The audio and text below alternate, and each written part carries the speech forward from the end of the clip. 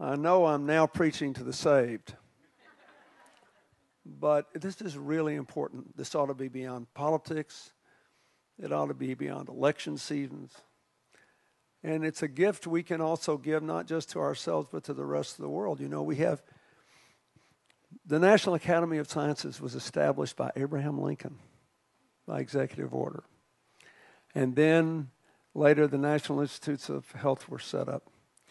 Our country has always believed in being not only a laboratory of democracy, but a laboratory of science and advancement. And you can't do that with a straight face and leave women out. The last thing I want to say is because my job is to bring Barbra up, is we, we've been friends for a long time now. And we became friends in the 92 campaign. And then she owned me for life because of the way she treated my mother, whom she met at my inaugural ball the night I was inaugurated. And they walked off together hand in hand. I knew they'd get along. And one of my favorite pictures I have is the, they're both their backs in their nice formal gowns walking hand in hand away. My mother had already been battling cancer for three years. She had 50 weeks exactly to live from the night I was inaugurated president. 50 weeks. And Barbra called her every single one of those weeks until she died. And here, the, the funny thing is, my mother came to Camp David at Thanksgiving. She was getting two blood transfusions a day to stay alive and look normal. And we were having a big time. She was having a big time. She was a nurse. She had a good life. She was totally philosophical about the fact that it was coming to an end. And I said, You coming back for Christmas? She said, Oh, I don't know. I said, What do you mean you don't know? She said, Well, I got to go to hear Barbra's concert in Vegas, and I'm not sure you'll get me back in time.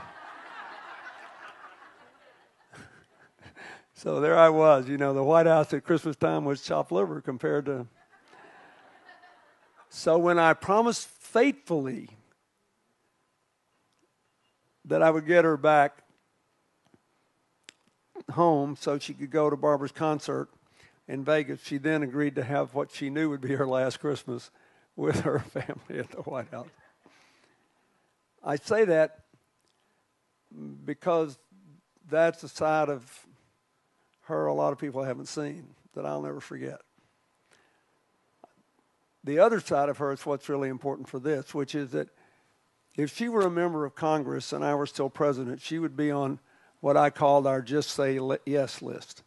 We had a very small list of, of congressmen, literally. If it was fewer than 10 people, which are called the just say yes list, is when they call you for something, just go on and tell them yes. Because you're going to do it sooner or later, because it's just like they're like a dog to the bone. They won't let you go. They'll make your life miserable. So just go ahead and tell them yes and save all the time. Doesn't matter how outrageous what it is they ask, tell them yes so the world can go on and the work can go on. So she called and started, you know, laying down the law to me about all the facts here. And so I just finally said, Stop. What do you want me to do? and, you know, thank God she didn't ask me to be a an experiment for our mentalist, or I would have been in trouble here.